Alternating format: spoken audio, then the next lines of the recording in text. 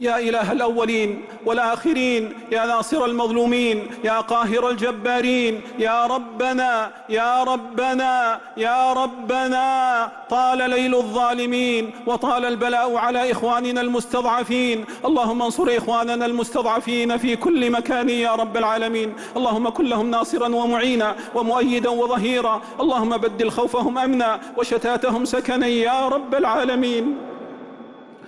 اللهم اللهم حرر المسجد الأقصى من اليهود الغاصبين. اللهم حرر المسجد الأقصى من اليهود الغاصبين والصهاينة الغادرين المحتلين. اللهم إنهم آذوا عبادك المؤمنين. اللهم إنهم آذوا عبادك المؤمنين واعتدوا على المصلين. اللهم زلزلهم ودمرهم. اللهم زلزلهم ودمرهم. اللهم لا ترفع لهم راية.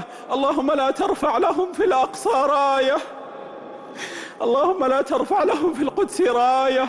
اللهم لا ترفع لهم في فلسطين راية. اللهم لا ترفع لهم راية ولا تحقق لهم غاية. واجعلهم لمن خلفهم عبرة.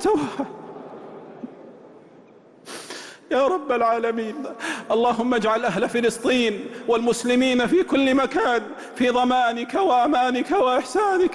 يا أرحم الراحمين يا رب العالمين.